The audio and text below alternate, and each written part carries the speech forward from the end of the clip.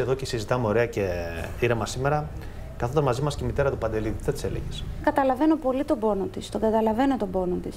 σω είναι και εκείνο το πρόσωπο το οποίο δεν μπορώ να πω κάτι. Ε, τι να πεις σε μια μητέρα που έχασε το παιδί της; Αλλά απ' την άλλη, τι να. Δεν μπορώ να το διαχειριστώ. Θεωρώ ότι ήμουν σε πολύ δύσκολη θέση.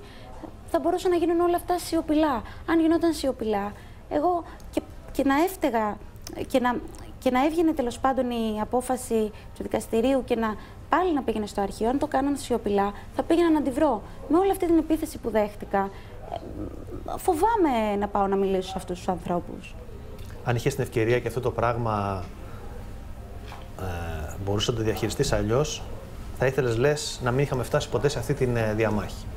Εγώ πιστεύω, Αντώνη, ότι αν ο Παντελής ήταν ε, μαζί μας και εγώ είχα πάθει όλη αυτή, την, όλη αυτό το, όλη αυτή τη ζημιά ε, και είχα τόσο σοβαρά προβλήματα υγείας, εκτός ότι αν ήταν ο Παντελής δεν θα ζητούσα καμία αποζημίωση, ο Παντελής δεν θα επέτρεπε να μην αποζημιωθώ και να μην ήθελε το καλύτερο για μένα. Ήταν αυτός ο χαρακτήρας του Παντελή.